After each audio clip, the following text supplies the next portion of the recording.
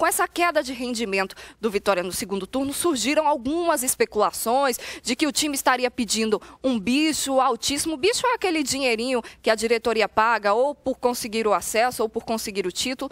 Mas o Pedro Quem ontem deu uma entrevista coletiva no Barradão, esclarecendo todas essas especulações, falou sobre o bicho e falou também sobre essa questão de que o grupo poderia estar rachado, poderia estar dividido. Uma entrevista muito boa para você, torcedor, assistir. Veja aí. Eu acho que quando é, as coisas começam a dar errado, é, começam a se levantar várias, várias situações, né, para tentar é, encontrar uma desculpa, né, pela, pela situação. E a gente acaba ouvindo muita coisa e, né, e eu acabei ouvindo também essa questão de, de premiação.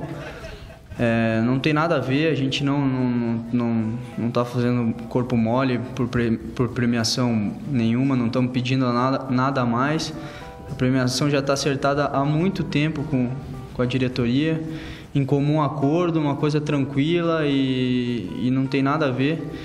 Né? E aqui, problema financeiro no Vitória, né, com essa gestão, realmente é muito difícil.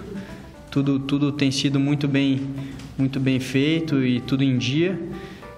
E, então isso é uma coisa fora de questão, é, não existe isso eu posso afirmar, até porque eu estava participando da, das reuniões e tô, tô dentro do, do, né, do grupo aí. E em relação à racha no grupo também, outra coisa que, que não existe, acho que o nosso grupo é um ótimo grupo, unido, sempre teve junto.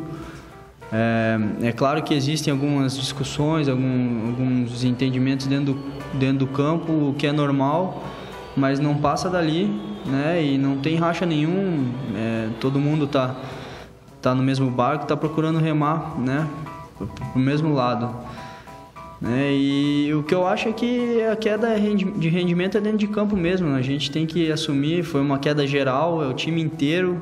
Não, não, né? não, se fosse um ou dois, até a gente poderia né, solucionar de uma forma mais fácil. Mas é, foi uma coisa geral e agora a gente tem que procurar um jeito de, de mudar isso aí e solucionar e pensar nesses cinco jogos, né? Acho que essa semana aí inteira para trabalhar vai ser muito importante, né? Para para até para o Ricardo colocar a filosofia dele de trabalho, o jeito que ele quer jogar, né? Porque ele não teve tempo disso, a gente jogava de uma forma praticamente o campeonato inteiro, com um treinador é, diferente em muitas coisas e mudou nesses últimos jogos.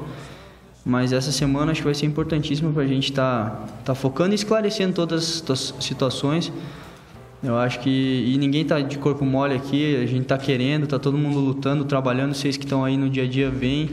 É uma fase mesmo ruim que a gente está enfrentando e eu acho que ali, ali em cima, né, a sorte às vezes fica pulando entre os três ali, né? Esse, esse último jogo aí o Criciúma ganhou num, num lance né, de, de, de sorte. Na rodada anterior a gente acabou ganhando fora, eles, eles foram.